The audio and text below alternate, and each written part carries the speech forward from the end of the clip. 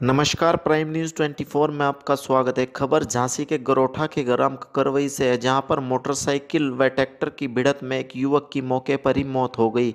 व दूसरा गंभीर रूप से घायल बताया जा रहा है। आपको बता दें कि चंद्रशेखर यादव पुत्र वाला दिन अपनी बाइक से गुरुसराय से ककरवई की ओर जा रहा था। उसके साथ गाँव का ही सुरेश यादव भी बैठा था। जैसे ही खरका मोड़ के पास पहुँचे तो ट्रैक्टर, मोटरसाइकिल की आपस में जोरदार भिड़त हो गई और बाइक पर दोनों युवकों को गंभीर रूप से घायल बताया गया।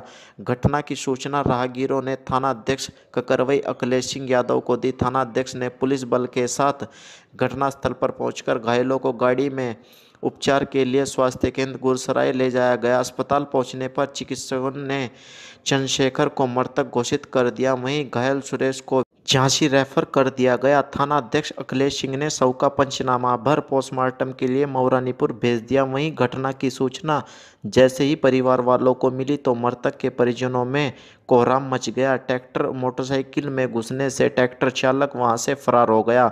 गरोठा समथर विधानसभा से नसीम खान के साथ कैमरामैन फहीम रेन की रिपोर्ट। अगर आपको यह वीडियो पसंद आई है तो हमारे चैनल को सब्सक्राइब ज़रूर करें, लाइक करें और शेयर करें। सब्सक्राइब के बगल में बेल आइकन को दबाकर हमारी ताज़ा तरीन खबरों से अपडेट रहें।